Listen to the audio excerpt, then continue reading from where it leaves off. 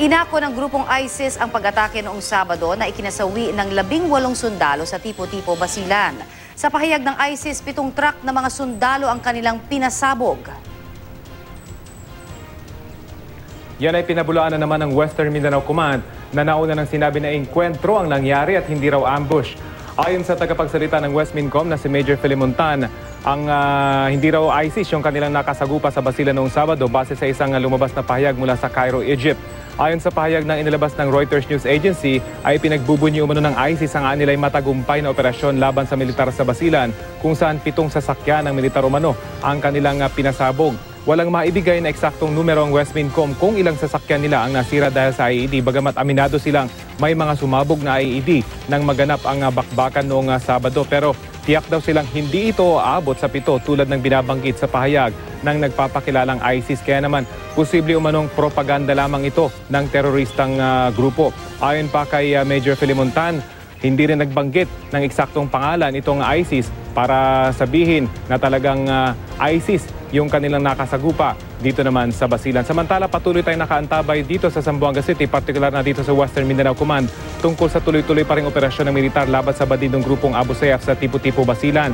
Ayon kay uh, Major Felimontan, umaabot na raw sa 31 ang patay sa hanay ng Abu Sayyaf mula nang magsimula ang operasyon noong Sabado. Kabilang na dito ang Moroccan terrorist na si Muhammad Katab. Kabilang din sa namatay ang isang hinihinalang Abu Sayyaf na unang nahuli ng militar matapos umano ang isang maikling bakbakan kahapon. Ayon sa West Mincom, may mga sugat ang hinihinalang Abu Sayyaf na ito kaya ito inilipat sa ospital. Pero inaakusahan ngayon ng militar na tinorture umano ang hinihinalang Abu Sayyaf na ito kasama ang dalawang, ah, dalawang iba pang nahuli rin. Ayon sa West Mincom, iimbestigahan daw nila ang aligasyong ito. Ipinag-utos ng umano ng commander ng Western Mindanao Command na imbestigahan ito ng Joint Task Force Zamba Sulta. Sa ngayon, tuloy pa rin umano ang walang tigil na operasyon sa Tipo-Tipo Basilan lalo pat ah, nakubkub na nila ang isang kampo ng teroristang grupo na may 25 bunkers na kaya umanong sumuporta ng mahigit isandaang katao. Ilang detonating cords din umano ang na-recover dito kasama na ang 50 siyam na kaba ng bigas. Karagdagang balita ay hatid ko maya-maya mula dito sa Zamboanga. Balik muna sa iyo, partner. Yes, partner, matanong ko lamang ikaw din, ano, partner, kasi alam mo talagang ah, dahil dito sa pag-ako nga nitong grupo ng ISIS, ano, dito sa sinasabi nga ah, ah, pagkamatay ng ah, labing walo nating sundalo, marami syempre ang ah, nangamba no, na may mga nagsasabi na hindi daw ba kaya, ano, kaya daw nagkaroon ng ah, ganitong klase ng paglusob ang ating militar ay dahil meron ng mga nakukuha silang intelligence report na dumarami na nga sa area na yan, ano, ang mga grupo o kinakasama na o ah, nire-recruit no, ng ah, grupong ISIS.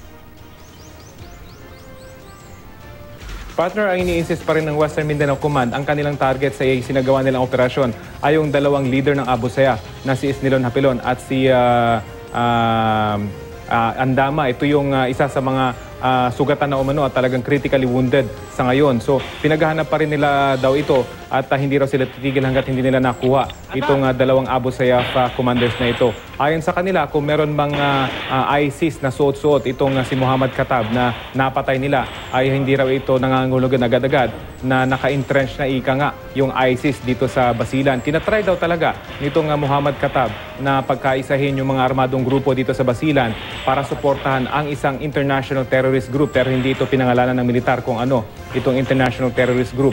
Pero tinatry pa lamang daw. Yun yung statement ng Western Mindanao Command uh, partner. So sa ngayon, partner, ano na ba ang update? Ah, meron na ba tayong ah, lead sa ating militar? Kumbaga, no, para doon sa mga kinukuha o hinuhuli nilang mga teroristang ito?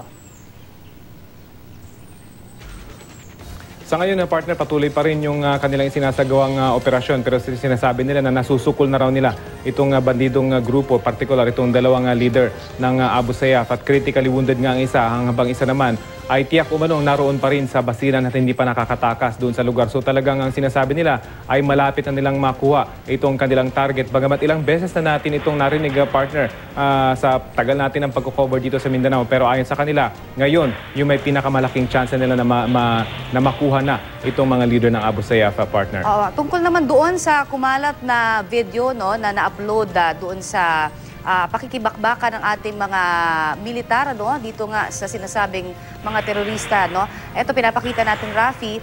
Ah, meron kasing parte dyan na parang ah, sinasabi eh, parang pumalya yung ilan sa mga gamit nilang mga firearms. Ano, ano bang ah, reaksyon dyan? at uh, kumpirmasyon ng ah, ah, militar natin ukol dito sa pinapakitang video. Well, ayon sa Westmincom uh, partner, eh, normal naman talaga yung mga ganyang pagkakataon na magja-jam yung baril ng uh, mga sundalo.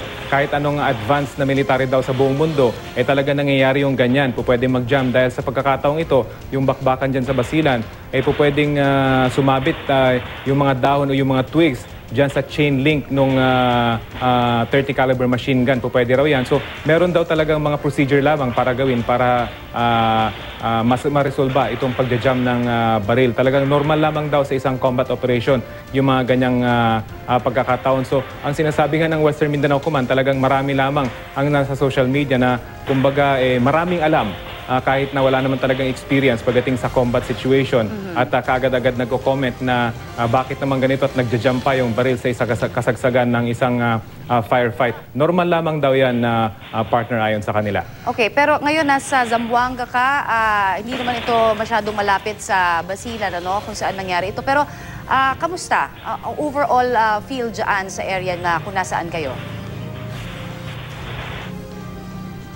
Actually, partner, dito sa Zamboanga, papansin na merong malaking operasyon doon sa Tipo-Tipo Basilan. At kahit nga sa Lamitan na Basilan at sa Isabela Basilan, ito yung dalawang malalaking bayan sa ah, isla ng Basilan na hindi rin gaanong ramdam yung malaking operasyon ng militar sa Tipo-Tipo sa bayan ng Tipo-Tipo. Ayon kasi sa Western Mindanao Command, i-confine naman ah, sa isang ah, uninhabited na lugar itong kanilang isinasagawang operasyon at talagang kinocontain lamang daw nila sa naturang ah, lugar yung ah, isinasagawang ah, opensiba laban nga dito sa Abu Sayyaf. So pagdating sa security siguro, meron lang ah, may mga reports na nagkakaroon ng IED operation itong Abu Sayyaf para i-divert itong atensyon ng militar pero patuloy pa rin daw nilang ah, sinusuyod itong lugar at ah, hindi hahayaan na lumaganap itong ah, ah, operasyon laban sa bandidong grupo. So dito mismo sa Zamboanga, eh talagang hindi mo mararamdaman yung ah, nangyayaring operasyon dyan sa Basilan. At ah, ang iniinda nila dito, partner, ay yung napakatinding init talagang natutuyo na yung uh, mga dam dito. So uh, kulang yung tubig, may at maya yung brownout.